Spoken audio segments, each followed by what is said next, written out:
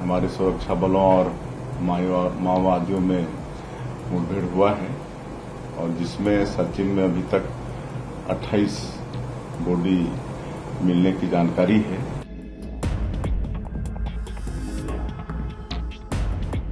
अब तक का ये बहुत बड़ा ऑपरेशन हुआ है और इस सफलता के लिए मैं अपने जवानों को बहुत बहुत बधाई देता हूँ। उनके मतलब साहस को हम नमन करते हैं।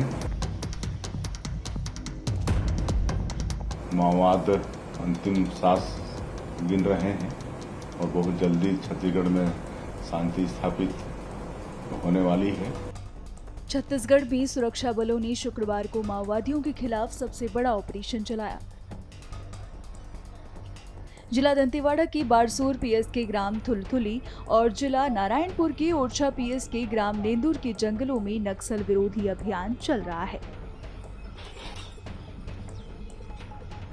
चार अक्टूबर को मुठभेड़ के दौरान डीआरजी दंतेवाड़ा, नारायणपुर और एसटीएफ ने संयुक्त अभियान चलाकर करीब तीन दर्जन से ज़्यादा माओवादियों को मार गिराया।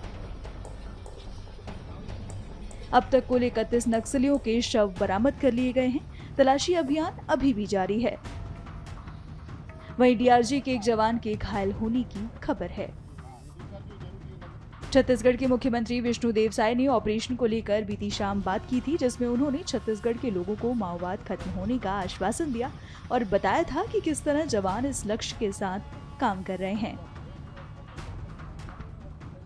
आज नारायणपुर और दंतेवाड़ा की सीमा में जो अबुझमाड़ क्षेत्र है, उसमें हमारे सुरक्षा बलों और माओवादियों में मुठभेड़ हुआ है और जिसमें सर्चिंग में अभी तक 28 बॉडी मिलने की जानकारी है और कई हथियार उसमें मिले हैं ए के फोर्टी सेवन वगैरह मिले हैं। और मैं समझता हूँ कि अब तक का ये बहुत बड़ा ऑपरेशन हुआ है और इस सफलता के लिए मैं अपने जवानों को बहुत बहुत बधाई देता हूँ उनके मतलब साहस को हम नमन करते हैं। अब डबल इंजन सरकार के कारण हम लोग मजबूती के साथ लड़ रहे हैं और माओवाद अंतिम सांस गिन रहे हैं और बहुत जल्दी छत्तीसगढ़ में शांति स्थापित होने वाली है। और आज हम बीजापुर के दौरे में थे तो वहाँ पर नक्सल पीड़ित लोगों से मिले भी। और आज की घटना के बाद शायद उनको और विश्वास उनका बढ़ गया होगा।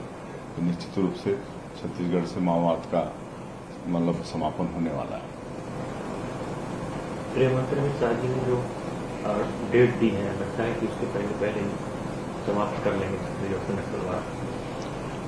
हाँ माननीय अमित शाह जी नौ महीने में दो बार नक्सलवाद को लेके छत्तीसगढ़ आ चुके हैं।